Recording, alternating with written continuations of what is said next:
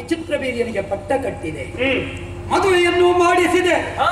ಕೆಲವು ಸಮಯ ಸಂದು ಹೋಯಿತು. ಮದುವೆಯಾದರೆ ಸಾಲದಮ್ಮ. ಒಬ್ಬ ಅರಸನಾದ ಬಳಿಗೆ ಭೂಮಿಯ ಪತ್ನಿ ಪ್ರಜೆಗಳೇ ಮಕ್ಕಳು ಸಮೃದ್ಧ ದೇಶವೇ ಅವನ ಉಸಿರಾಗಿರಬೇಕಮ್ಮ.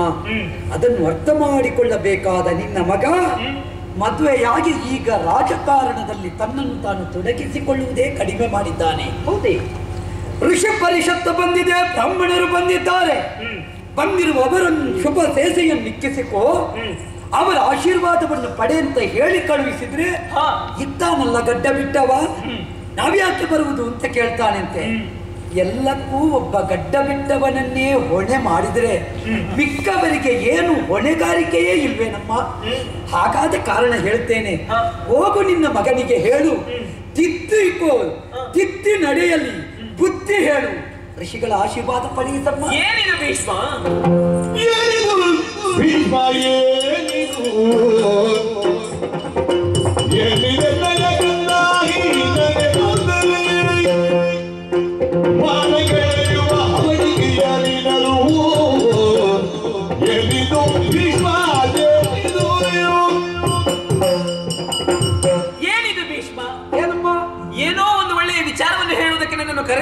ಹಾಗೆ ಭಾವಿಸಿದ್ರೆ ಏನು ನನ್ನ ಮಗನ ಮಾನವನ್ನು ತೆಗೆಯಬೇಕೆನ್ನುವ ಹಾಗೆ ನಿನ್ನ ಪ್ರಯತ್ನವ? ಚೆಚ್ಚೆ ನಿನ್ನ ಮಗ ಮಾನಧನನಾಗಿ ಉಳಿಯಬೇಕೆನ್ನುವುದಿಚ್ಛೆ ಬ್ರಾಹ್ಮಣ ಪರಿಷತ್ತು ಬಂದಿದೆ. ನಿಜ. ಋಷಿ ಪರಿಷತ್ತು ಬಂದಿದೆ. ಸರಿ. ಅವರಿಗೆ ಉತ್ತರವನ್ನು ಕೊಡಬೇಕು. ಆ ಸ್ಥಿತಿಯಲ್ಲಿ ಇದ್ದಾನೆ ಈಗ ಈಗ ತಾನೇ ಮದುವೆಯಾಗಿ ಸುಖ ಪ್ರಸ್ತವನ್ನು ಅನುಭವಿಸುತ್ತಾ ಇದ್ದಾನೆ. ಶೃಂಗಾರ ರಸದ ಅನುಭವದಲ್ಲಿದ್ದಾನೆ. ಇದ್ದಾನೆ ನೀನು ಅವನ ಹತ್ರ ಆ ಶೃಂಗಾರ ರಸವನ್ನು ಅನುಭವಿಸಲಿಕ್ಕೆ ಬಿಡಬೇಕು. ಅಮ್ಮ ಅವರಿಗೆ ಉತ್ತರ ಕೊಡುವುದು ಬೇಡ.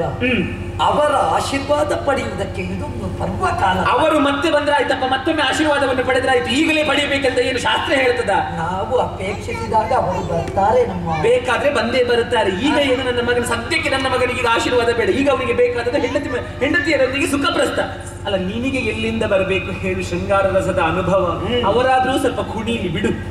ಹೌದಮ್ಮ. ನಾವು ಕುಣಿಯುವುದಿಲ್ಲ ಕುಣಿಸುವವರನ್ನು ಕುಣಿಸ್ತೇವೆ ಅಷ್ಟೇ. ಹೌದು. ಮದುವೆ ಮದುವೆಯಾಗಿ ಅಭ್ಯಾಸ ಇಲ್ಲ ನಿನಗೆ? ಇಲ್ಲಪ್ಪ ನನಗೆ ತಾಯಿಗೂ ಮದುವೆ ಮಾಡಿಸಿ ಅಭ್ಯಾಸ ಉಂಟು ತಮ್ಮನಿಗೂ ಉಂಟು ನನಗೆ ಮಾತ್ರ ಆಗಲಿಲ್ಲ. ಮತ್ತೆ ನಿನಗೆ ಅದರ ಅನುಭವ ಎಲ್ಲಿಂದ ಬರಬೇಕು ಹೇಳು. ಅಮ್ಮ ಅನುಭವ ಕೇವಲ ಆಗಿ ಬರುವುದಲ್ಲ. ನೋಡಿ ಬರಬೇಕು. ಗೃಹಸ್ಥ ಅಂತ ಹೇಳಿಸಿಕೊಳ್ಬೇಕು ಹ್ಮ್. ಮದುವೆ ಆಗಿ ಹೆಂಡತಿಯ ಒಟ್ಟಿಗೆ ಕುಣಿಯುವುದಲ್ಲ ಆ ಗೃಹಸ್ಥ ಧರ್ಮಕ್ಕನುಸಾರವಾದ ಕರ್ಮವನ್ನು ಮಾಡಬೇಕು ತಾಯಿ ಹ್ಮ್. ನಿನ್ನ ಮಗ ಮಾಡುವುದು ಬೇಡ ಅಂತ ನೀನೇ ಹೇಳಿದ್ರೆ. ನನ್ನ ಆಕ್ಷೇಪ ಇಲ್ಲ ಪೀಠವನ್ನು ರಕ್ಷಿಸುವಂತ ಹೊಣೆಗಾರಿಕೆ ನಿನಗೆ ವಹಿಸಿಕೊಟ್ಟಿದ್ದೇನೆ ಸರಿ. ಈ ಸಂದರ್ಭದಲ್ಲಿ ಋಷಿ ಪರಿಷತ್ತು ಬಂದ್ರೆ ಬ್ರಾಹ್ಮಣ ಪರಿಷತ್ತು ಬಂದ್ರೆ ಒಂದು ದಿವಸದ ಮಟ್ಟಿಗೆ ಅವರಿಗೆ ಉತ್ತರವನ್ನು ಕೊಡು. ಹೋಗಿ ಅಲ್ಲಿ ಹೇಳಬೇಡ ಹೀಗೆ ಸತ್ಯವತಿ ಹೇಳಿದ್ದಾಳೆ ಎನ್ನುವ ಹಾಗೆ. ನನ್ನ ಮಾನವನ್ನು ತೆಗಿಬೇಡ ಇನ್ನಲ್ಲಿ ಹೋಗಪ್ಪ. ನಿಮಗೂ ಯೋಗಿಗಳ ಬಗ್ಗೆ ಬಹಳ ಅಲ್ಲ ನೀನು ಹೋಗಿ ಹೇಳಿಬಿಟ್ರೆ ಮತ್ತೆ ಹೀಗೆ ಆಯ್ತಂತ ಧೈರ್ಯ ಉಂಟವರ ಬಗ್ಗೆ. ನೀನೇನಾದ್ರೂ ಹೇಳಿಬಿಟ್ರೆ ಅಲ್ಲಿ ಹೋಗಿ? ಯೋಚಿಸಬೇಡಿ. ಹಾ. ನಾ ಹಾಗೆ ತಾಕಿಸಿ ಹಾಕುವ ಸ್ವಭಾವದವನೇ ಅಲ್ಲ. ಹೌದಲ್ಲ? ಆಗ್ಲಿ ಬಂದದ್ದು ಬರಲಿ ಮತ್ತೆ ನೋಡಿಕೊಳ್ಳಿ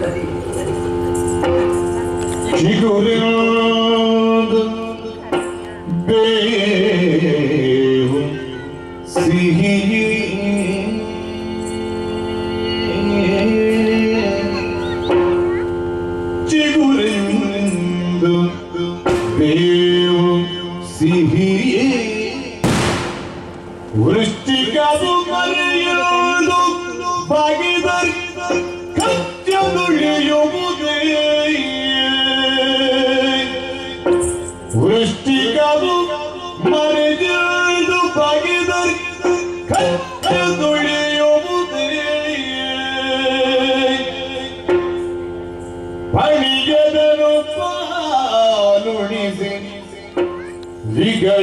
ವಿಗಡ ವಿಷತ ನಡಿಯುವುದೇ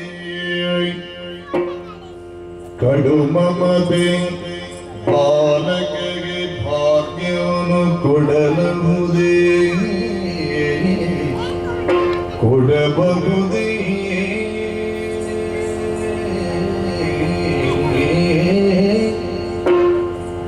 ಅಜಿಯಲ್ಬಹುದು ಕೂಪ ಭಾಷಣ ಮಧ್ಯದಲ್ಲಿ ತೆಗೆಯಲ್ಬಹುದು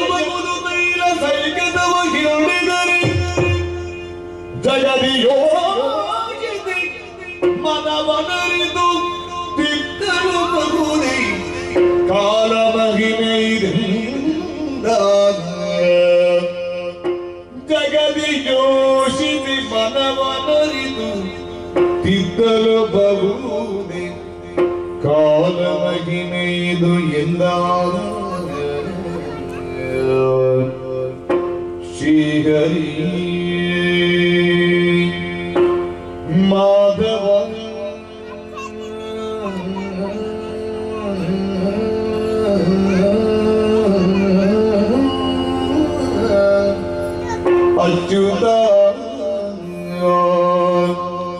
Hanım da ale ale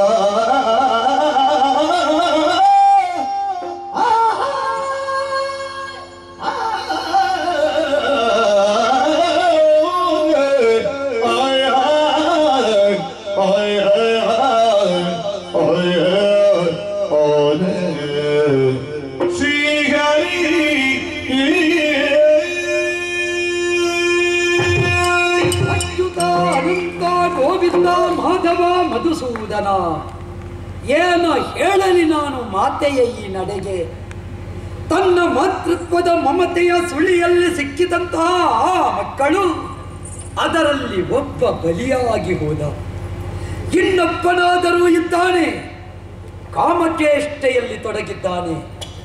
ಕಾಮ ಅತಿಯಾದರೆ ಯಾವತ್ತಿದ್ದರೂ ಅದು ಕ್ಷಾಮ. ಕಾಮ ಮಿತವಾದರೆ ಕ್ಷೇಮ.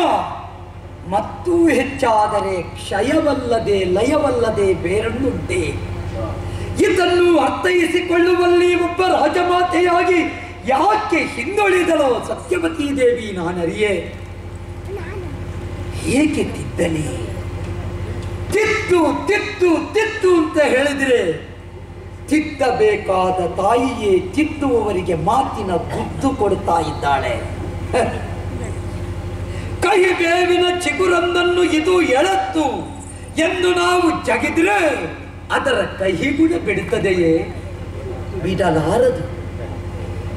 ಚೇಳಿನ ಮರಿಯೊಂದನ್ನು ಇದು ಮರಿ ಕಚ್ಚುವುದಕ್ಕಿಲ್ಲ ಅಂತ ನಾವು ಕೈಯಲ್ಲಿ ಹಿಡಿದರೆ ಕಚ್ಚದೆ ಉಳಿದೀತೆ ನಾಗರ ಹಾವೊಂದಕ್ಕೆ ಆರಾಧನಾ ಶಕ್ತಿ ಎಂಬ ಭಾವದಿಂದ ಹಾಳೆಳೆದರೆ ಅದು ವಿಷವನ್ನು ಕೊಟ್ಟೀತೆ ವಿನಃ ಅಮೃತ ಕೊಡುವುದಕ್ಕುಂಟೆ ಹಾಗಿದ್ರೆ ಗೊತ್ತಿತ್ತು ಅಂತದ್ದನ್ನು ಯಾಕೆ ಮಾಡುತ್ತೇವೆ ನಮ್ಮ ಕರ್ತವ್ಯ, ನಮ್ಮ ಧರ್ಮ ಎಂಬ ಹಾಗೆ. ಲೋಕದಲ್ಲಿ ಎಲ್ಲರ ಚಿತ್ತವೂ ಸರಿ ಇರುವುದಿಲ್ಲ. ಕೆಲವೊಂದು ಸಲ ವಿರೋಧ ಅಂತ ಕಾಣುತ್ತದೆ. ಆದರೆ ಪ್ರಾಜ್ಞರ ನಡೆನುಡಿಗಳಿಂದ ತಿದ್ದಿಕೊಂಡು ಸರಿದಾರಿಗೆ ಬರ್ತಾರೆ ವ್ಯಾಸನಾಗಿದ್ದ ವಾಲ್ಮೀಕಿ ಏನಾಗಿ ಹೋದ? ಬ್ರಹ್ಮರ್ಷಿಯಾಗಿದ್ದೆ. ಕ್ಷಾತ್ರಿಯನಾಗಿದ್ದಂತಹ ಕೌಶಿಕ ಸಪ್ತ ಸಪ್ತಋಷಿಗಳಲ್ಲಿ ಒಬ್ಬನಾಗಿರ್ಲಿಲ್ವೇ? ಹಾಗಿದ್ರೆ ಸಾಧನೆಯ ಮುಂದೆ ಯಾವುದು ಲಕ್ಷ್ಯವಲ್ಲ ಎನ್ನುವುದು ಸ್ಪಷ್ಟ. ಜಗದೊಳಗೆ ಶೋಷಿತರು ಶೋಷಿತರು ಎನ್ನುವವರಿಗೆ ಪೋಷಿತರ ಸ್ಥಾನ ಸಿಕ್ಕಿದ್ರೆ ಏನಾಗುತ್ತದೆ? ಪ್ರಾಜ್ಞರಾಡಿದ್ರಲ್ಲ. ಕಲ್ಲಿನ ಬಂಡೆಯನ್ನನ್ನು ಅಗೆದು ಅದರ ಮಧ್ಯದಲ್ಲಿ ಬಾವಿಯನ್ನು ತೆಗೆದು ಒಬ್ಬ ಸಾಧಕನಾದವ ಜಲದಿಂದ ಕೃಷಿ ಮಾಡಬಲ್ಲ. ಆ ಸಾಧನೆಯಿಂದವ ಮಹಾಲಿಂಗನಾಗಬಲ್ಲ. ಅಂತಹ ಮಹಾಲಿಂಗನನ್ನಾದರೂ ಪದುಮನಾಭ ಪದ್ಮಶ್ರೀಯಾಗಿ ಗುರುತಿಸಬಲ್ಲ. ಮಾತ್ರವಲ್ಲ ಒಬ್ಬ ಸಾಧಕನಾದವನು ತ ಆ ವೈಕೆಯಿಂದ ಎಣ್ಣೆಯನ್ನು ತೆಗೆಯಬಲ್ಲ. ಕಾಯಿಯಿಂದ ಎಣ್ಣೆ ಎಷ್ಟು ತೆಗೆಯಬೇಕು? ವೈಕೆಯಿಂದ ತೆಗೆಯಲಿಕ್ಕೆ ಆಗುತ್ತದೋ ಎನ್ನುವುದು ಮುಖ್ಯ. ಆದ್ದರಿಂದ ಅಂತಹ ಸಾಧನೆಯನ್ನು ಮಾಡಬಲ್ಲ. ಆದ್ದರಿಂದ ಸಾಧನೆಯ ಮುಂದೆ ಯಾವುದೂ ಇಲ್ಲ. ಹಾಗಿದ್ರೆ ತಿದ್ದಿದಷ್ಟು ಬದಲಾಗುವುದಿಲ್ಲ ಅನ್ನುವುದರ ಅರ್ಥ ಏನು? ಇದು ಕಾಲ ಕಾಲ ಕಾಲ. ಕಾಲಾಯ ತಸ್ಮಯೇ ನಮಃ. ಏನಾಗುತ್ತದೆ ನೋಡಿ. ಕಾರುತರ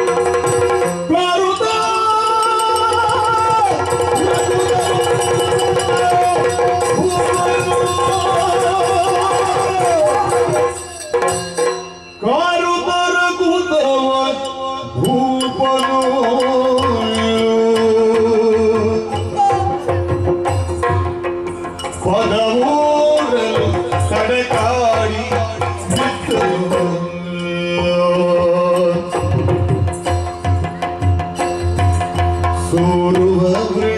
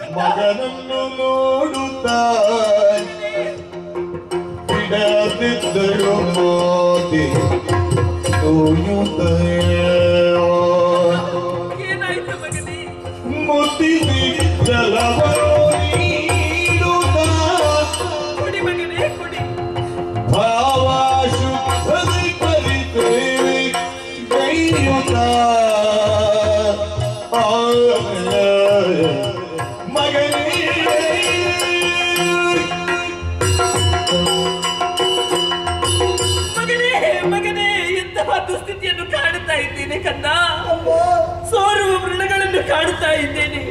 ಮಾತನಾಡುವುದಕ್ಕೆ ತಡವಹಿಸುತ್ತಾ ಇದ್ದೀಯಾ? ಏನು ಮಗನೇ, ಇದು ರಕ್ತವನ್ನು ಕಾಣುತ್ತಾ ಇದ್ದೇನೆ. ಏನಾಯ್ತು ಮಗನೇ? ಹೇಳಪ್ಪ, ಹೇಳು ಕಂದ ಹೇಳು.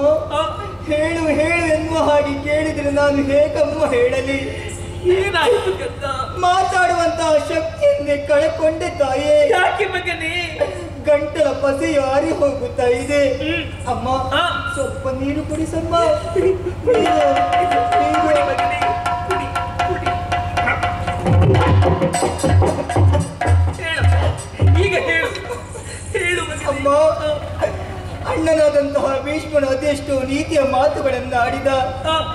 ಆದ್ರೆ ನಾನು ನನ್ನದಾದಂತಹ ಅಹಂಕಾರದಿಂದ ಅವನ ಮಾತನ್ನು ತಿರಸ್ಕರಿಸಿ ಹೋದಿನಮ್ಮ. ಆದ ಕಾರಣವೂ ಏನು? ಇದು ನಿನ್ನೆ ಮಗ ಇವತ್ತು ದೊಡ್ಡ ರೋಗಕ್ಕೆ ತುತ್ತಾಗಿ ಹೋಗಿದ್ದಾನೆ, ರೋಗಕ್ಕೆ ತುತ್ತಾಗಿ ಹೋಗಿದ್ದಾನೆ. ಅಮ್ಮ, ಈ ರೋಗದಿಂದಲಾಗಿ. ಅದು ಕೈಕಾಲುಗಳೆಲ್ಲವೂ ನೋವು ನೋಯುತ್ತಾ ಇದೆ.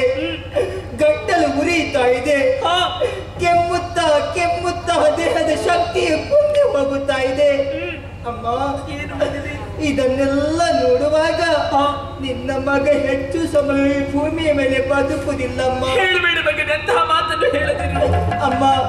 ನನಗೊಂದು ಉಪಕಾರವನ್ನು ಮಾಡುವೆ ತಾಯಿ. ಏನು ಇಷ್ಟು ಬೇಗ ಸಾಯುವುದಕ್ಕೆ ಇಷ್ಟವಿಲ್ಲಮ್ಮ. ಇಲ್ಲ ಮಗನೇ ನೀನು ಸಾಯಲಾರಿ. ಬದುಕಿ ಎನ್ನುವುದು ನನಗೆ ಇನ್ನೂ ಕೂಡ ಬೇಕಮ್ಮ. ನನಗೆ ಬದುಕಬೇಕು ತಾಯಿ. ಅಮ್ಮಯ್ಯ. ತಮ್ಮಯ್ಯ. ನನ್ನನ್ನು ಹೇಗಾದ್ರೂ ಮಾಡಿ ಉಳಿಸ ನಾನು ಬದುಕಿರುತ್ತೇನೆ ನಾನು ಬದುಕಿರುತ್ತೇನೆ.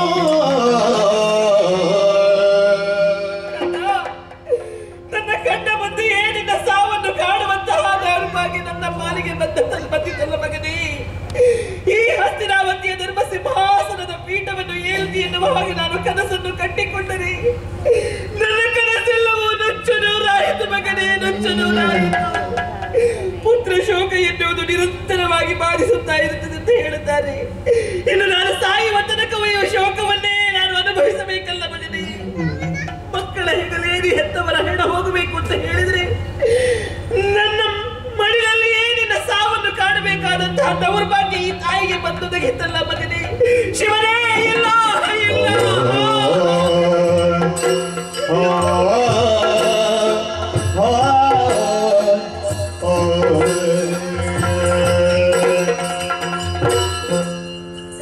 ಅಸುವೆಗೆದಕ್ಕೂ ಅದನಿಗೆ ಸಂಸ್ಕಾರ.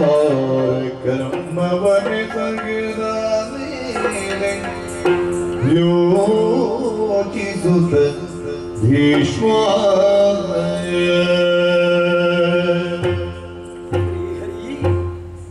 ವಾಸುದೇವ ಮೂರ್ತಿ ಏನಾಗಿ ಹೋಗುತ್ತಾ ಉಂಟು. ಆಚಾರ್ಯ ಭೀಷ್ಮನಿರುತ್ತಾಯಿ ಚಂದ್ರ ವಂಶದ ಕುಡಿಗಳು ಉಳಿಯಬೇಕು ಉಳಿಯಬೇಕು ಎಂಬ ಹಾಗೆ ಮಾಡಿದ ಪ್ರಯತ್ನ ನಿಷ್ಪ್ರಯೋಜಕವಾಗಿ ಹೋಯಿತಲ್ಲ. ತಡೆದೆ, ಹಿರಿಯವನನ್ನು ತಡೆದೆ. ನನ್ನ ತಡೆಯನ್ನು ಮೀರಿದುದರ ಪರಿಣಾಮವಾಗಿ ಉಳಿಸಿಕೊಳ್ಳುವುದಕ್ಕಾಗಲಿಲ್ಲ. ಕಿರಿಯವನನ್ನಾದರೂ ಉಳಿಸಿಕೊಳ್ಳುತ್ತೇನೆ ಅಂತ ಪ್ರಯತ್ನ ಪಟ್ಟೆ ನನ್ನ ಪ್ರಯತ್ನ ಫಲಪ್ರದವಾಗಲಿಲ್ಲ. ಕ್ಷಯರೋಗ ಪೀಡಿತನಾಗಿ ವಿಚಿತ್ರ ವೀರ್ಯ ಕಾತ ನಳಿದು ಹೋದ, ಅಳಿದು ಹೋದ. ಅಯ್ಯೋ, ನನ್ನ ಕನಸು ಗೋಪುರವೇ ಮುರಿದು ಬಿತ್ತು ಮುರಿದು ಬಿತ್ತು. ಯಾವ ತಮ್ಮಂದಿರಿಗೆ ನನ್ನ ಈ ಕೈಗಳಲ್ಲಿ ಕೊಳ್ಳೆ ಇಡುವ ದುರಂತ ಸ್ಥಿತಿ ನನ್ನ ಪಾಲಿಗೆ. ನಾ ಮಾಡಿದ ತ್ಯಾಗಕ್ಕೆ ನನಗೆ ಸಿಕ್ಕಿದ ಫಲವೇ ಇದು ಫಲವೇ. ಮುಂದೇನು ಗತಿ ಈ ಪೀಠಕ್ಕೆ? ಏನು ಮಾಡೋಣ? ಏನು ಮಾಡೋಣ? ಚಿಂತಿಸುತ್ತ ಗೌರವತಿ, ಭೀಷ್ಮನನ್ನು ಕರೆದು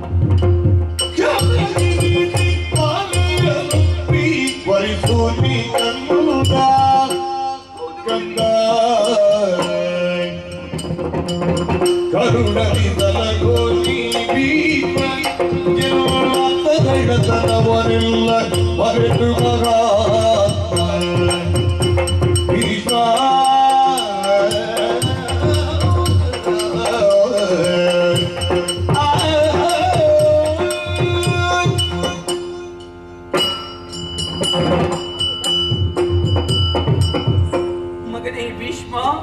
ಅಮ್ಮ. ಕ್ಷಮಿಸಿ ಬಿಡು ಮಗನೇ. ಹಾಗನ್ನು ಬೇಡ ತಾಯಿ. ಚಿತ್ರವಾಯಿತು. ಹ್ಮ್, ಯಾವತ್ತೂ ಸತ್ಯವತಿಯಲ್ಲಿಗೆ ಭೀಷ್ಮ. ಹೌದು. ಆದರೆ ಈಗ ಭೀಷ್ಮನಲ್ಲಿಗೆ ಸತ್ಯವತಿ. ಬರಬೇಕಾದಂತಹ ಅನಿವಾರ್ಯ ಸ್ಥಿತಿ ನನ್ನ ಪಾಲಿಗೆ ಬಂತು ಮಗನೇ. ಏನಮ್ಮ? ನನ್ನ ಮಕ್ಕಳ ಆಟಿಕೆಯನ್ನೆಲ್ಲವನ್ನು ನೀನು ಕ್ಷಮಿಸಿ ಬಿಡಬೇಕು. ಜಯ ಹಾಗೆ ಬೇಡ ತಾಯಿ. ಕಂದ? ನೀನು ತಾಯಿ ನಾ ಮಗ ಹೇಗಮ್ಮ ಈ ವಾಕ್ಯ? ಹ್ಮ್. ಅಲ್ಲದ ತಾಯಿ. ಈ ಧರೆಯ ಅಧಿಕಾರಕ್ಕೆ ಬೇಕಾಗಿ ಹಸ್ತಿನಾವತಿ ಈ ಧರ್ಮಸಿಂಹಾಸನದ ಪೀಠಕ್ಕೆ ಬೇಕಾಗಿ ನಿನ್ನ ಅಪ್ಪನನ್ನು ನಾನು ವರಿಸಿದೆ. ನನ್ನ ಅಪ್ಪನ ಆಸೆಯು ಅದೇ ಆಯಿತು ಮಗನಿ. ಹ್ಮ್. ಆದರೆ ನಮ್ಮ ಆಸೆಗಳೆಲ್ಲ ನಮ್ಮ ಕನಸುಗಳೆಲ್ಲವೂ ಕೂಡ ನುಚ್ಚು ನೂರಾಗಿ ಹೋಯಿತು ಕಂದ. ಎರಡು ಮಕ್ಕಳನ್ನು ಪಡೆದೆ. ಎರಡೂ ಮಕ್ಕಳನ್ನು ಕಳೆದುಕೊಂಡು ಬಿಟ್ಟೆ ನಾನು. ದುರ್ವಿಧಿ. ಹ. ಆದರೆ ಈಗ ಮಾತ್ರ ಒಂದು ಪ್ರಶ್ನೆ ಪ್ರಶ್ನೆಯಾಗಿಯೇ ಉಳಿದಿದೆ ಕಂದ. ಏನಮ್ಮ? ಧರ್ಮ ಸಿಂಹಾಸನಕ್ಕೆ ಯೋಗ್ಯ ಉತ್ತರಾಧಿಕಾರಿ ಯಾರು ಎನ್ನುವುದು ಈಗ ಪ್ರಶ್ನೆಯಾಗಿಯೇ ಉಳಿದಿದೆ. ನನ್ನ ನನ್ನ ಮಕ್ಕಳಿರ್ತಿದ್ರೆ ಅದು ಮುಂದೆ ಮುಂದೆ ಹೋಗುತ್ತಿತ್ತೋ ಏನು. ಚಂದ್ರವಂಶ ವೃದ್ಧಿ ಆಗುತ್ತಿತ್ತೋ ಏನು. ಆದರೆ ನನ್ನ ಮಕ್ಕಳು ಅಳಿದ ಮೇಲೆ ಯಾರು ಎನ್ನುವುದೇ ಈಗ ಪ್ರಶ್ನೆ. ಅದಕ್ಕೆ ಉತ್ತರವನ್ನು ನಾನು ಕಂಡುಕೊಂಡಿದ್ದೇನೆ ಮಗನಿ. ಏನಮ್ಮ? ಕಂದ ಆ, ಕರುಣಾಳು ನೀನು. ಆ, ಲೋಕದ ಜನರಲ್ಲಿ ಬಿಂದು ಮಾತ್ರ ಕರುಣೆಯಾದ್ರೆ ನೀನು ಮಾತ್ರ ಹಾಗಲ್ಲ. ಹ್ಮ್. ಕರುಣಾನಿಧಿ. ಹ್ಮ್. ಕಂದ ಅಮ್ಮ. ನನ್ನ ಮಾತನ್ನೊಂದು ಕೇಳುವೆಯ? ಏನಮ್ಮ? ಒಂದು ಯೋಗ್ಯ ಕಣ್ಣಿಯನ್ನು ವರಿಸಿ. ಹ್ಮ್. ನಿನ್ನ ಮೂಲಕ ಒಂದು ಚಂದ್ರವಂಶ ಬೆಳಗಬೇಕು ಎನ್ನುವುದು ನನ್ನ ಆಸೆ ಮಗನೇ. ಹ್ಮ್. ಈ ಧರ್ಮ ಸಿಂಹಾಸನವನ್ನು ನೀನು ಏರಬೇಕು. ಒಬ್ಬಳನ್ನು ವರಿಸಬೇಕು ಮಗನೇ ನೀನು.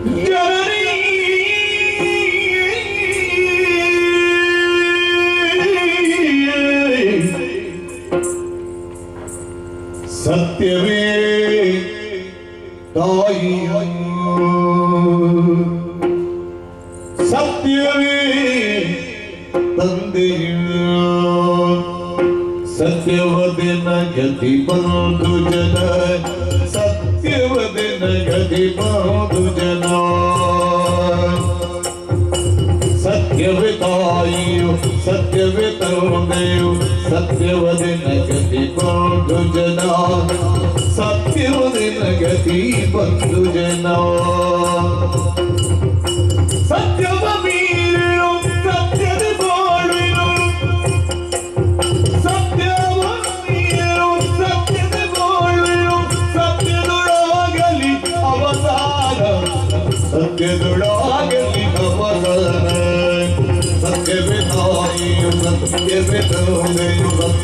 ಗತಿ ಮಾಡು ಜನ ಸತ್ಯವತಿನ ಗತಿ ಮಾಡು ಜನ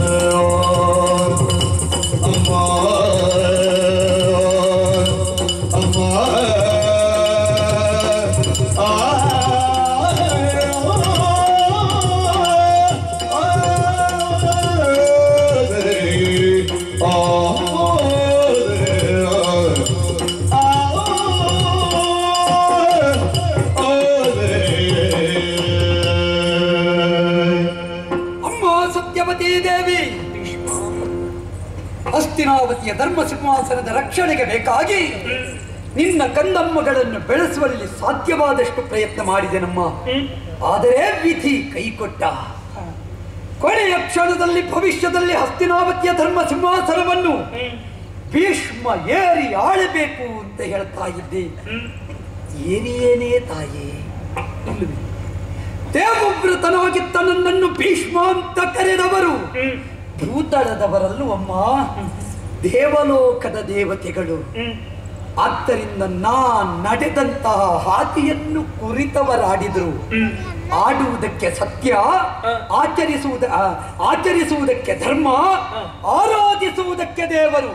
ಇದನ್ನು ಬದುಕಿನಲ್ಲಿ ಅಳವಡಿಸಿಕೊಂಡವನಿಗೆ ಭೀಷ್ಮ ಅಂತ ಹೆಸರು.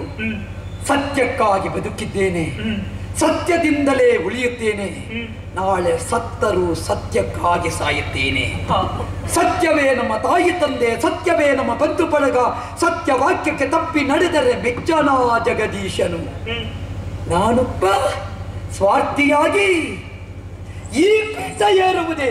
ಏರ್ಬೇಕು. ಇದು ಸಾಮಾನ್ಯರು ಏರಿದ ಸಿಂಹಾಸನ ಅಂತ ಭಾವಿಸಿದೆಯಾ? ಉತ್ತರದ ಎತ್ತರದಿಂದ ದಕ್ಷಿಣಾವರ್ತದ ತುತ್ತ ತುದಿವರೆಗಿನ ಅಖಂಡವಾದ ಈ ಜಂಬೂ ದ್ವೀಪಕ್ಕೆ ಪರ ಭಾರತ ಎನ್ನುವ ನಾಮವನ್ನಿತ್ತವ ಭರತ ಚಕ್ರವರ್ತಿ. ಅಂತಹ ಏರಿದ ಕೀರ್ತಿ ಸಿಂಹಾಸನ ತಾಯೇ ಇದು. ಒಂದು ಕಾಲದಲ್ಲಿ ಧರ್ಮಕ್ಕೆ ಬೇಕಾಗಿ ತನ್ನ ಶರೀರವನ್ನೇ ತಾನು ತೆತ್ತು ಹರಿಯ ಸುದರ್ಶನಕ್ಕೆ ಆಹುತಿಯಾಗಿ ಕೊಟ್ಟು ಧರ್ಮದ ಬೆಳೆ ತೆಗೆದ ಕುರುಭೂಪತಿ ಏರಿದಂತಹ ತ್ಯಾಗ ಸಿಂಹಾಸನ? ಇಂತಹ ಧರ್ಮ ಸಿಂಹಾಸನವನ್ನು ಒಬ್ಬ ಭ್ರಷ್ಟನಾಗಿ ಭೀಷ್ಮ ಏರುವುದಕ್ಕೆ ಸಿದ್ಧನಿಲ್ಲ.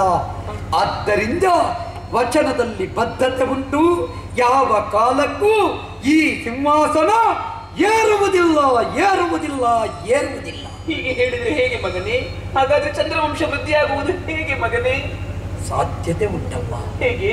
ಹಿಂದಕ್ಕಾದರೂ ಭಾರ್ಗವರಾಮರು ಕ್ಷಾತ್ರ ಸಂಹಾರವನ್ನು ಮಾಡಿದ ಸಂದರ್ಭದಲ್ಲಿ ಕ್ಷಾತ್ರ ವಂಶ ಮುಂದುವರಿಯುವುದು ಹೇಗೆ ಎನ್ನುವ ಪ್ರಶ್ನೆ ಬಂದಾಗ ಋಷಿ ಪರಿಷತ್ತೊಂದು ದಾರಿಯನ್ನು ಕಂಡುಕೊಂಡಿತಂತೆ ಧರ್ಮ ಮೂಲದಿಂದ ಅಳಿದ ಕ್ಷಾತ್ರಿಯರ ಸತಿಯಲ್ಲಿ ನಿಯೋಗ ಪದ್ಧತಿಯಂತೆ ವಂಶ ವೃದ್ಧಿಯಾಯಿತು. ಕೇಳಿಬಲ್ಲವರು ನಾವು. ಎಲ್ಲಿಯೂ ಇಲ್ಲಿಯೂ ಅಷ್ಟೇ ನಿನ್ನ ಮಕ್ಕಳು ಸತ್ತಿರಬಹುದು. ಆದರೆ ಸೊಸೆಯಂದಿರಿದ್ದಾರಲ್ಲ. ಹೌದು. ನೀವು ಮನಸ್ಸು ಮಾಡಿದರೆ ಧರ್ಮ ಮಾರ್ಗದಿಂದ ಋಷಿ ನಿಯೋಗದಿಂದ ಚಂದ್ರಾನ್ವಯಕ್ಕೆ ಬೇಕಾದ ಕುಟಿಯನ್ನು ಅವರಿಂದ ಪಡೆಯಬಹುದು. ಋಷಿ ನಿಯೋಗ ಪದ್ಧತಿಯಿಂದ ಒಂದು ಮಗುವನ್ನು ಪಡೆದು ಸಿಂಹಾಸನಕ್ಕೆ ಉತ್ತರಾದಾಯಿತ್ವವನ್ನು ಹೊಂದಬಹುದು. ಹಾಗಾದ್ರೆ ಸಾತ್ಯವತೆ ವಂಶವೇ ಮುಂದುವರಿಯುತ್ತದೆ. ಹೇಗಮ್ಮ ಒಂದು ಕಥೆಯನ್ನು ಹೇಳಲಿ. ಮುನಿಪರಾಜನ ಕೃಪೆ ಕಟಾಕ್ಷದಿತನಯ ವ್ಯಾಸನು ಜನಿಸಿದ ಗುಣಗಣಾನ್ವಿತ ಋಷಿಕುಮಾರ ಯೋಗಿ ಸಂಪದ ಸತ್ಯವತಿಯಳ ಕುಲ ಸುಜಾತರು.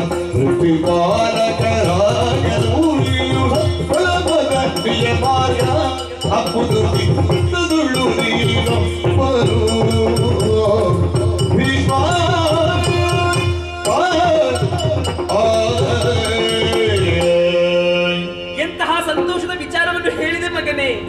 ಸಾಧ್ಯವತೆಯ ವಂಶವೇ ಮುಂದುವರಿಯುತ್ತದೆ. ಹಾಗಾದ್ರೆ ನೀನು ಹೇಳಿದ್ದು ಸತ್ಯವೇ ಆದಲ್ಲಿ. ಹೇಗೆ ಸಾಧ್ಯವಮ್ಮ? ನಿನ್ನಲ್ಲಿ ಹೇಳದೇ ಇರುವಂತಹ ಒಂದು ಕಥೆಯನ್ನು ಹೇಳಲಿ ನಾನು. ಏನಮ್ಮ?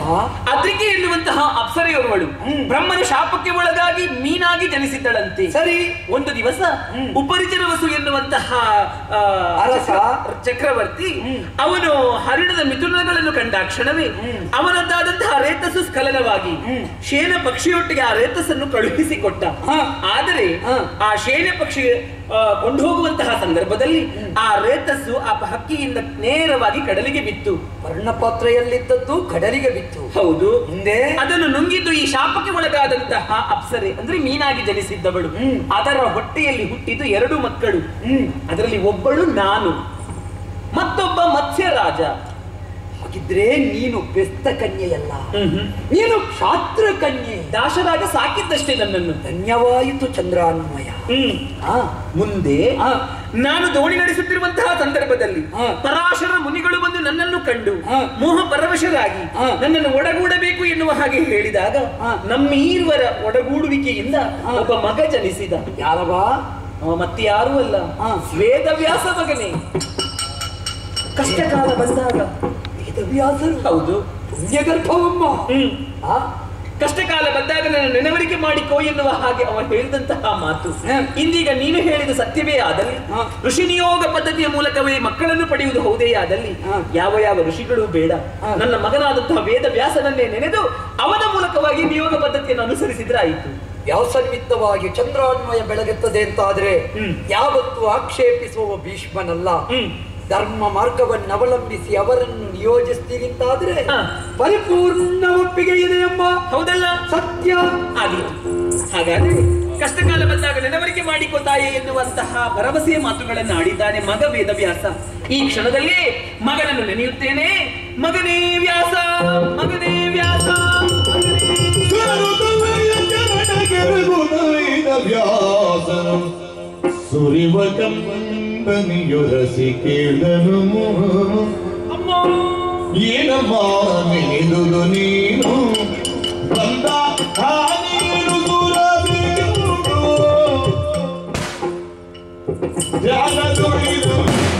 ಮನಕ್ಕೆ ಸಂಕಟವಾಯಿತು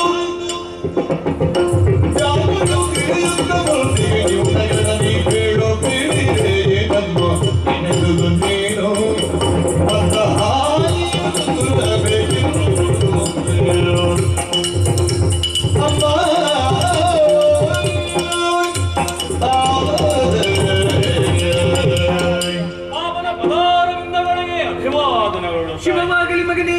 ಅಮ್ಮ ಕಂದ. ಲೋಕೋತ್ಕರ್ಷೆಯ ಹಂಬಲವುಳ್ಳವನಾಗಿ. ಧ್ಯಾನಯೋಗ್ಯವಾದಂತಹ ಹಿಮಾಲಯದ ಶೃಂಗಭಾಗವನ್ನು ಸೇರಿ ಬಹು ಕಾಲವೇ ಕಳೆದು ಹೋಯಿತಮ್ಮ. ಹುಟ್ಟಿದ ಕ್ಷಣವೇ ಪ್ರೌಢನಾಗಿ ಗೋಚರಿಸಿದವ ನಾನು. ದೇಹ ಕಾವಲಿಸಿದಂತಹ ಪ್ರೌಢತೆ ಸಾಲದು. ಜ್ಞಾನ ಸಂಪನ್ನನಾಗಬೇಕು ಎನ್ನುವಂತಹ ಉನ್ನತ ಉದ್ದೇಶದಿಂದಲೇ ನಾ ಹೋದವ. ಕಷ್ಟ ಒದಗಿ ಬಂದಾಗ ಧ್ಯಾನಿಸು ಎನ್ನುವಂತಹ ಮಾತನ್ನಾಡಿ ನಾನು. ವಿರಮಿಸಿದವ ತಾಯಿ ದುಃಖ ಮಾನಸಳಾಗಿದ್ದೀಯ ನನ್ನನ್ನು ಧ್ಯಾನಿಸಿದೆಯ? ಯಾಕಮ್ಮ ಕರುಳಿನ ತನುಜಾತ ಕನುಜಾತ ಬಂದೆಯ? ತನುಜಾತ ನೀನು?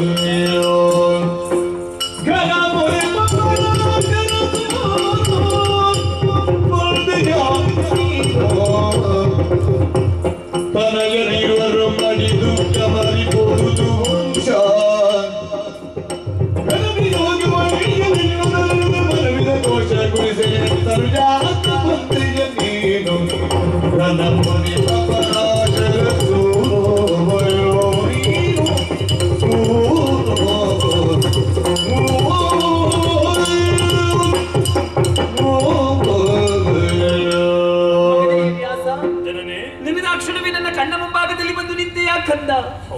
ಎಲ್ಲ ತಾಯಂದಿರ ಹಾಗೆ ನಿನ್ನನ್ನು ಮುದ್ದಾಡಿಸಿದವಳು ನಾನಲ್ಲ ಹಾಲು ಉಣಿಸಿದವಳು ನಾನಲ್ಲ. ಆಹಾ. ಆದರೂ ನನ್ನ ಕರೆಗೆ ಹೋಗೊಟ್ಟು ಓಡೋಡಿ ಬಂದೆಯ ಈ ಭುವಿಯ ಬೆಳಕನ್ನು ಕಾಣಿಸಿದಂತಹ ಭಾಗ್ಯದಾತೆ ನನ್ನ ಈ ಸ್ಥಿತಿಯಲ್ಲಿಯೂ ನಿನ್ನನ್ನು ನೆನೆಯಬೇಕಾದಂತಹ ಪರಿಸ್ಥಿತಿ ನನ್ನ ಪಾಲಿಗೆ ಒದಗಿ ಬಂತು. ಸುಖಕ್ಕೆ ಎಲ್ಲರೂ ಒದಗಿ ಬರ್ತಾರಮ್ಮ. ಕಷ್ಟಕ್ಕೆ ಯಾರೂ ಇರುವುದಿಲ್ಲ. ಹೌದು ನಾ ಮಗನಾಗಿದ್ದೇನೆ ಒದಗಿ ಬಂದಿದ್ದೇನೆ ತಾಯಿ. ಕಂದ. ಅಮ್ಮ. ಎರಡು ಮಕ್ಕಳನ್ನು ಪಡೆದೆ. ಚಂದ್ರವಂಶ ಬೆಳಗುತ್ತದೆ ಎನ್ನುವ ಹಾಗೆ ಕನಸನ್ನು ಕಟ್ಟಿಕೊಂಡೆ. ಆದರೆ ಏನು ಮಾಡೋಣ ನನ್ನ ಧರ್ಮಿಧಿ ಎರಡು ಮಕ್ಕಳನ್ನು ನಾನು ಕಳೆದುಕೊಂಡೆ ಮಗನೇ. ಆಗ ಭೀಷ್ಮನಾಡಿದಂತಹ ಮಾತು ಅಮ್ಮ ಚಿಂತಿಸಬೇಡ. ಚಂದ್ರವಂಶ ಬೆಳಗುವುದಕ್ಕೆ ಇನ್ನೊಂದು ದಾರಿ ಇದೆ. ಋಷಿ ನಿಯೋಗ ಪದ್ಧತಿಯಿಂದ ಸತ್ಸಂತಾನವನ್ನು ಕರುಣಿಸುವುದಕ್ಕೆ ಸಾಧ್ಯ? ಆ ಮೂಲಕವಾಗಿ ಚಂದ್ರವಂಶ ಬೆಳಗುತ್ತದೆ ಎನ್ನುವ ಹಾಗೆ. ಆಗ ನಾನು ಆಲೋಚನೆ ಮಾಡಿದ್ದು ಒಂದೇ. ಸಾತ್ಯವತೆಯ ವಂಶವೇ ಮುಂದುವರಿಯಬೇಕು ಈ ಚಂದ್ರವಂಶದಲ್ಲಿ ಎಂದು. ಅದಕ್ಕೆ ಬೇಕಾಗಿ ನನ್ನ ಮಗನಾದಂತಹ ವ್ಯಾಸನನ್ನೇ ನೆನೆದು ವ್ಯಾಸನ ಮೂಲಕವಾಗಿ ಋಷಿ ನಿಯೋಗ ಪದ್ಧತಿಯನ್ನು ಅನುಸರಿಸಿ ಆ ಮೂಲಕ ಸತ್ಸಂತಾನವನ್ನು ಪಡೆದು ಚಂದ್ರವಂಶವನ್ನು ಬೆಳಗಬೇಕು ಧರ್ಮ ಸಿಂಹಾಸನಕ್ಕೆ ಒಬ್ಬ ಯೋಗ್ಯ ಉತ್ತರಾಧಿಕಾರಿ ಬೇಕು ಎನ್ನುವ ಆಸೆಯನ್ನು ಪಟ್ಟಿದ್ದೇನೆ. ಅದಕ್ಕಾಗಿ ನಿನ್ನನ್ನು ನೆನೆದಿದ್ದೇನೆ ಮಗನೇ. ಅಮ್ಮ ವಂಶವಲ್ಲರಿ ಪಲ್ಲವಿಸಲೆನ್ನಬೇಕು ಎನ್ನುವಂತಹ ಉಕ್ಕಟೆ ಇಚ್ಛೆಯಿಂದಲೇ ನನ್ನನ್ನು ಧ್ಯಾನಿಸಿದವಳು ಏನು. ಋಷಿ ನಿಯೋಗ ಪದ್ಧತಿಯ ಮೂಲಕವಾಗಿ ಅನುಗ್ರಹವನ್ನು ಹೊಂದಬೇಕು ಸಂತಾನವನ್ನು ಸತ್ಸಂತಾನವನ್ನು ಪಡೆಯಬೇಕು. ನಿನ್ನ ಅಪೇಕ್ಷೆ ಏನೋ ಸಾಧುವಾದದ್ದು. ಆದರೆ ಋಷಿ ನಿಯೋಗ ಪದ್ಧತಿಯ ಔಚಿತ್ಯವನ್ನು ಔನತ್ಯವನ್ನು ಮೌಲ್ಯವನ್ನು ಅರಿತು ವ್ಯವಹರಿಸಿದರೆ ಅದರಿಂದ ಸತ್ಫಲವನ್ನು ಹೊಂದುವುದಕ್ಕೆ ಸಾಧ್ಯ ತಾಯಿ ಏನದು ಅಮ್ಮ. ಒಂದು ವರುಷದ ಕಠಿಣ ತಪಸ್ಸಿನಲ್ಲಿ ತನ್ನನ್ನು ತಾನು ತೊಡಗಿಸಿಕೊಳ್ಳಬೇಕು ನಿನ್ನ ಸೊಸೆ. ಒಂದು ವರುಷ. ದರ್ಭೆಯಲ್ಲೇ ಮಲಗಬೇಕು. ಕಂದ ಕಂದಮೂಲಾದಿಗಳನ್ನೇ ತಿನ್ನಬೇಕು. ಈ ಕಠಿಣ ವ್ರತವನ್ನು ಆಚರಿಸುವುದಕ್ಕೆ ನಿನ್ನ ಸೊಸೆ ಸಿದ್ಧಳಿದ್ದಾಳೆ ಎನ್ನುವ ಹಾಗೆ ಯೋಚಿಸಬೇಕು ಬೇಡು ತಾಯಿ. ಕಂದಮೂಲಾದಿಗಳನ್ನು ತಿನ್ನಲು ಬೇಕಾದ್ರೆ ನಾನು ತಿನ್ನಿಸ್ತೇನೆ. ಆದರೆ ಆದ್ರೆ ಒಂದು ವರ್ಷಗಳ ಕಾಲ ನನಗೆ ಕಾಯುವಂತಹ ವ್ಯವಧಾನ ನನ್ನಲ್ಲಿಲ್ಲ ಮಗನೇ. ಹುಟ್ಟಿದ ಕ್ಷಣವೇ ನಿನ್ನ ಹಾಗೆ ನಡೆದುಕೊಂಡು ಹೋಗುವಂತ ಮಗನನ್ನು ಕರುಣಿಸಿದ್ರು ಆದೀತು ನನಗೆ ಈ ಕ್ಷಣವೇ ಬೇಕು ಮಗನೇ. ಎಲ್ಲರೂ ವ್ಯಾಸರಾಗುವುದಕ್ಕೆ ಸಾಧ್ಯವೇ ತಾಯಿ? ನೀ ಹಠ ಮಾಡಬೇಡ. ಈ ಕಠಿಣವಾದಂತಹ ವ್ರತದ ಆಚರಣೆ ಆದ್ರೆ ಸತ್ಫಲವನ್ನು ಪಡೆಯಬಹುದು ಅಂತ ನನ್ನ ಅಪೇಕ್ಷೆ. ವ್ರತವನ್ನೇನೋ ಆಚರಿಸಬಹುದಾದ್ರೆ ಒಂದು ವರ್ಷ ಕಾಯ್ಲಿಕ್ಕೆ ಆಗುದಿಲ್ಲ. ವ್ರತವನ್ನು ಆಚರಿಸಲೇಬೇಕು. ಹೇಗೆ? ನನ್ನನ್ನು ಚೆನ್ನಾಗಿ ಗಮನಿಸಿ ನೋಡುತ್ತೇನೆ ನೋಡಿದ್ರೆ ಕೃಷ್ಣಕಾಯ. ಕೆಂಪಾದ ಕಣ್ಣು ಕಮಟು ವಾಸನೆ ಕೆದರಿದ ಕೇಶರಾಶಿ ವಿಕಾರ ರೂಪ ಇದು. ಇದನ್ನು ನಿನ್ನ ಸೊಸೆ ಕಂಡು ಸಹಿಸಿಯಾಳೆ ಎನ್ನುವ ಹಾಗೆ ನೀ ಯೋಚಿಸುತ್ತಾಯಿ. ನನ್ನನ್ನು ಕಂಡು ಸಹಿಸುತ್ತಾಳೆ ಅಂತ ಆದ್ರೆ ಅದುವೇ ನಿಜಾರ್ಥದ ವ್ರತವಾದೀತು. ಅಲ್ಲ ನನ್ನ ಸೊಸೆಯನ್ನು ಒಪ್ಪಿಸುವಂತ ಹೊಣೆಗಾರಿಕೆ ನಾನು ಹೇಳಿ ಹಾಗೆ ಕೇಳ್ತಾಳೆ ಅವಳು. ಹೌದೇ. ಹೌದು. ಸರಿಯಮ್ಮ. ಆದೀತು. ಆದೀತು. ಮಧ್ಯರಾತ್ರಿಯ ಹೊತ್ತಿನಲ್ಲಿ ನಿನ್ನ ಸೊಸೆಯನ್ನು ಶೈಯಗೆ ಕಳುಹಿಕೊಡು. ನಾನು ಗ್ರಹಿಸ್ತೇನೆ. ಆದೀತು ಮಗಳಿ ಮಗಳಿ ಅಂಬಿಕೆ. ಕರಡರು ಸೊಸೆಯನ್ನು ಮಾದಿಯು ವ್ಯಾಸ ಬರುವನು ತಕ್ಕಿಯುಡಾಕಿಯು ತಿರುಗಿಸಿ ಬೆಟ್ಟದಿ ತಪ್ಪಿಗೆ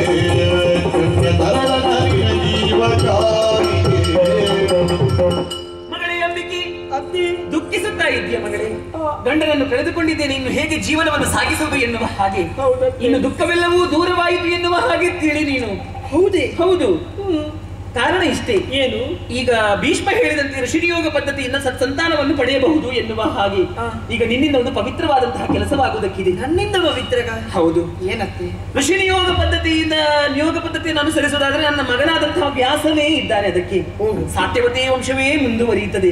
ಹಾಗಾಗಿ ಮಗಳೇ ನೀನು ನೇರವಾಗಿ ವ್ಯಾಸನ ಸಜ್ಜಾಗ್ರಹಕ್ಕೆ ತೆರಳಿ ಆ ಋಷಿ ಯೋಗ ಪದ್ಧತಿಯನ್ನು ಅನುಸರಿಸಿ ಸತ್ ಸಂತಾನವನ್ನು ಪಡೆದು ಚಂದ್ರವಂಶವನ್ನು ಬೆಳಗುವಂತಹ ಹೊಣೆಗಾರಿಕೆಗೆ ನಿನ್ನ ಮೇಲಿದೆ ಮಗಳಿ. ಅತ್ತೆ ಇದು ನೀತಿಯೇ ಸರಿ? ನಾಡಿನ ಪ್ರಜೆಗಳು ಆಡುವುದಕ್ಕಿಲ್ಲವೇ? ಏನು ಹೇಳ್ತಾರೆ? ವಿಧವೆಯಲ್ಲಿ ಸತ್ಸಂತಾನ ಪಡೆದರು ಎನ್ನುವುದಾಗಿ. ನಾಡಿನ ಪ್ರಜೆಗಳು ಏನು ಹೇಳಲಿಕ್ಕಿಲ್ಲ. ಚಂದ್ರವಂಶಕ್ಕೆ ಒಂದು ಮಗು ಬರುತ್ತದಲ್ವಾ? ಆ ಸಂತೋಷದಲ್ಲಿ ಇರ್ತಾರೆ ಒಂದು. ಎರಡನೆಯದಾಗಿ ಋಷಿ ನಿಯೋಗ ಪದ್ಧತಿ ಇರುವುದೇ ವಿಧವೆಯರಿಗೆ ಬೇಕಾಗಿ. ಹಾಗಾಗಿ ಶಾಸ್ತ್ರವೇ ಹೇಳುತ್ತದೆ ಉತ್ತರ ಕೊಡುವುದಕ್ಕೆ ನಾನು ಮತ್ತೆ ಭೀಷ್ಮ ಇದ್ದೇವೆ. ಅದೇ ಇಲ್ಲಿ ನಡೆದಂತಹ ವಿದ್ಯಮಾನಗಳನ್ನು ಸರಿಯಾಗಿ ಗಮನಿಸಿದ್ದೇನೆ ಈ ಧರ್ಮ ಸಿಂಹಾಸನಕ್ಕೆ ಬೇಕಾಗಿ. ಅದೆಷ್ಟೋ ತ್ಯಾಗವನ್ನು ಮಾಡಿದವರು ನೀವು. ಹೌದು. ಈ ಚಂದ್ರವಂಶದ ಉಳಿವಿಗಾಗಿ ನಿಮ್ಮ ಸೊಸೆಯಾಗಿ ಈ ತ್ಯಾಗವನ್ನು ಮಾಡುವುದಕ್ಕೆ ಸದಾ ಸಿದ್ಧನಾಗಿದ್ದೇನೆ